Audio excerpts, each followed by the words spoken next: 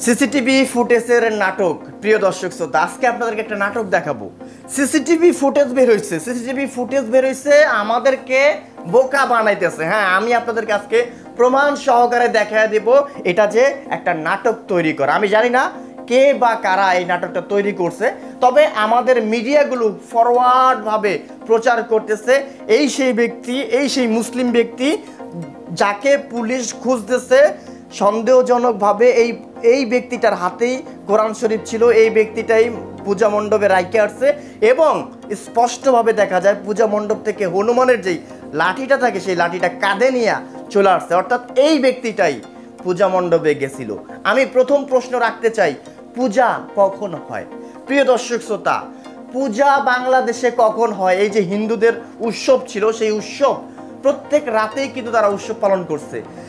এই সিসিটিভি ফুটেজটা বুঝাইতেছে উদিনকা বারো তারিখ রাত্রে প্রায় দুইটা বাজে ঘটনাটা ঘটছে। এখন আমার প্রশ্ন, প্রথম প্রশ্ন এটা, যে রাত্রে দুইটা বাজে মন্দিরের লোকজন কোথায় গেছিল? এটা হচ্ছে আমার একদম প্রথম প্রশ্ন। দ্বিতীয় যেটা মোস্ট ইম্পর্টেন্ট একদমই আপনাদেরকে ভিডিওটা দেখাবো, আর একটু আলোচনা করব। চলুন আমরা প্রথমে সেই ভিডিওটা দেখি। আচ্ছা এইখানে মোটামুটি দেখা যাইতেছে যে এই ব্যক্তিটা হাতে কিছু একটা আছে, যেটা মোটামুটি সাদার সাদার মতন দেখা যায়। একটা কোরআন শরীফ মেনে নিলাম যে আমরা প্রাথমিকভাবে ধরে নিলাম যে কোরআন শরীফ, তার হাতে তিনি যাইতেছে। কিন্তু মোটামুটি ফুকাস হিসাবে বোঝা যায় যে কোরআনটা একটু পুরান, যেমন সাদা সাদা, তার কাবারটা সাদা ছিল ওকে তো তিনি যাইতেছে সিসিটিভি কিন্তু তাকে ফোকাস করছে, হুম, এই দিঘির পার থেকে। আচ্ছা সে তো নাই। ওকে ওকে ওকে এখন একটু সামনে আমরা ক্যামেরাটা নেই সিসিটিভি ক্যামেরাটা একটু আমরা ই করি, ঘুরাই ওকে হ্যাঁ হ্যাঁ এটা এটা আর একটু ঘুরাই। না এইখানে চলে গেছে আর একটু নেই আর একটু নেই এই যে চান্দু তোমার দেখা গেছে। সিসিটিভি ক্যামেরা তিনশো ষাট ডিগ্রি ঘুরে ফেলছি, তিনশো ষাট ডিগ্রি। কিচ্ছু বলা লাগে নাই অটোমেটিকলি বাংলাদেশের ক্যামেরা।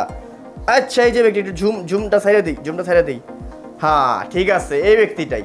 হ্যাঁ এখন এই প্রশ্নটা আমি করতে চাই যে একটা সিসিটিভি ক্যামেরা কীভাবে একজন ব্যক্তির পিছনে পিছনে হাঁটে, পিছনে পিছনে হাঁটে? ভাই, এটা তো আমরা শুটিং করতেছি না, যে দূর থেকে শুটিং করতেছি, আমরা দেখি যে লোকটারে পাই কিনা। আর সবচেয়ে মজার বিষয় বাইরে ভাই, সিসিটিভি ক্যামেরা কালার মানে কালার ফুটেজ সিসিটিভি ক্যামেরার কালার ফুটেজ এটা খুবই মজার বিষয়। এত দূরের থেকে একটা কালার ফুটেজ কীভাবে দিল? ভাই, একদমই ধারণা নাই আমার যে আসলে সারা পৃথিবীতে এরকম একদম স্পষ্ট কালার ফুটেজ এত রাত্রে এই সিসিটিভি ক্যামেরাটা দিতে পারে কি না আমার ধারণা নাই। আর এই যে সিসিটিভি ক্যামেরার মতন যে নাম্বার উঠতেছে না, এগুলো আমিও নিজেও মানাইতে পারি, যেহেতু আমি একজন ভিডিও কন্টেনার ভিডিও তৈরি করতে পারি। তো যাই হোক, আমি এইখানে কিন্তু এরকম টাইম এরকম একটার পর একটা উঠবে, এগুলো দিতে পারি, ব্যাপার না এগুলো। তো এত সময় আমি নষ্ট করব না, ঠিক আছে? কারণ আমার তো সময় নেই। সকালবেলা ঘুমের তো ওইটা, গতকালকে রাতে চিন্তা ভাবনা করছে যে আসলে সিসিটিভি ক্যামেরাটা কি সত্য নাকি মিথ্যা? সত্য নাকি মিথ্যা? কোনোভাবে মাথায় কাজ করতে পারতেছে না। সকালবেলা চিন্তা করে দেখলাম যে, আরে, এই ক্যামেরা ঘুরলো কীভাবে? হ্যাঁ এখানে আপনারা অনেকে বলবেন, ভাই, তুমি কি জানো? সিসিটিভি ক্যামেরা ঘোরানো যায়? আমিও জানি, ভাই, আমিও জানি। তবে সিসিটিভি ক্যামেরা কখন ঘোরানো যায়? একজন ব্যক্তিকে সিসিটিভি ক্যামেরা ফোকাস করল, এখানে মনিটরিং করতেছে। যারা অফিসে বসে থাকে বা সিসিটিভি ক্যামেরার মনিটরের সামনে বসে থাকে, তারা দেখতেছে, আরে, এই ব্যক্তিটা সন্দেহজনক। ওকে দেখি তো এটা একটু ঘুরাই। ওকে এটা একটু ঘুরে হ্যাঁ এইটা ঘুরান যায়। এখন এইটা যে ঘুরাইলো, আমার প্রশ্ন হচ্ছে যে সেই সেই দিন রাত্রে কুমিল্লাতে একজন ব্যক্তি পূজা মণ্ডপে যাইতেছিল বা পূজা মণ্ডপ থেকে এই এরকম ঘটনা ঘটাইছে, তাকে সিসিটিভি ফলো করল। কিন্তু পরের দিন যখন সমগ্র বাংলাদেশে হাঙ্গামা সৃষ্টি হলো, তখন কেন এই সিসিটিভি ফুটেজটা ভাইরাল হলো না? এটা হচ্ছে আমার সর্বশেষ প্রশ্ন। আর এই প্রশ্নের উত্তর শুধু আমি আমার বাংলাদেশের সাধারণ মানুষের কাছে পেতে চাই।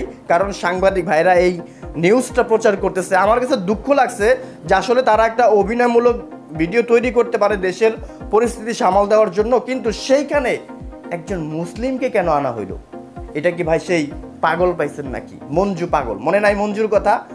একজন ধর্ষণকারী হিসাবে মঞ্জুর সাজা হয়েছে এই মঞ্জু নাকি একটা মেয়ের ধর্ষণ করছিল, রাতের আধারে ধৈর্য নিয়ে টাইনা হেসরা লুট্টা পুট্টা খাইছে। যদিও বাংলাদেশের মানুষ সেটা বিশ্বাস করতে পারতেছিল না, কারণ ধর্ষণ সাজা আমরা চাই। কিন্তু এই পাগলের কাছে যে একটা নারী দর্শনের শিকার হইব সেইটা বাংলাদেশের মানুষ বিশ্বাস করে নাই। তো যাই হোক, আমি চাই অবশ্যই প্রশাসন অতি দ্রুত এটার একটা সমাধান করুক। কিন্তু এরকম এরকম ভিডিও পেয়ে যদি কোনো মানুষকে চিহ্নিত করে আমাদের সামনে নিয়ে আসে, আমরা হয়তো বা স্বাভাবিকভাবে কিছু বলব না, কিন্তু মনে হয় না যে একজন অসহায় মানুষকে ফাঁসানোটা ঠিক হবে। আর সবচেয়ে বড় কথা এই যে কলঙ্কটা, আমি এই ব্যক্তির নামটা নিতেছি না, নামটা একদম মুসলিম নাম, তার ভোটার আইডি কার্ডটা পর্যন্ত সামাজিক যোগাযোগ মাধ্যমে ভাইরাল করা দেওয়া হয়েছে, তার ছবিটা পর্যন্ত ভাইরাল করা দেওয়া হয়েছে, আমি তার ছবিটা দেখাইতে চাই না, কারণ আমার কাছে মনে হয় এই ব্যক্তিটা হয়তোবা কোনো ষড়যন্ত্রের শিকার যেটা হচ্ছে যে তাকে দিয়ে অভিনয় করানো হয়েছে। যে সিসিটিভি ফুটেজ সেটা হচ্ছে অভিনয় করানো করানো হয়েছে। তো যাই হোক, আমি তার চেহারাটা সামনে আনতে চাই না, তবে এতটুকু বলতে চাই, এই অভিনয়টা করাই আমাদের বাংলাদেশের মুসলিমদের উপরে একটা কলঙ্ক লেপে দেওয়া হলো। আমি আপনাদেরকে ছোট্ট করে একটা উদাহরণ দিয়ে ভিডিওটা শেষ করব, অনেক সময় হয়ে গেছে গা। মনে করেন আপনার বাবা খুন হয়েছে। আপনার বাবাকে কারা খুন করছে? আপনার আপনি জানেন না, আপনি পুলিশের কাছে মামলা করলেন। পুলিশ তদন্ত করে আপনাকে খুনি সাব্যস্ত করল। তখন আপনার কাছে কেমন লাগবে? ঠিক একইভাবে আমাদের পবিত্র ধর্মগ্রন্থ কোরআন, কোরআনকে অবমাননা করেছে। কে বা কারা, সেটা আমি জানি না। কিন্তু বদনামের ভাগই আমরা মুসলিমরাই হলাম। এই ব্যক্তিটা যদি মানে এখন এই মুহূর্তে আটক হয়, তাহলে আমি মনে করি যে এই ব্যক্তির নাম হিসাবে বোঝা- যায় যে আমরা মুসলিমরাই এই কাজটা করছি, অর্থাৎ কলঙ্কিত আমরাই হলাম। আমি আশাবাদী এই নাটকের শেষ হবে। আজকের মতন এখানে রাখব। ভালো থাকবেন, দেখা হবে নতুন কোনো ভিডিওতে। আল্লাহ হাফেজ।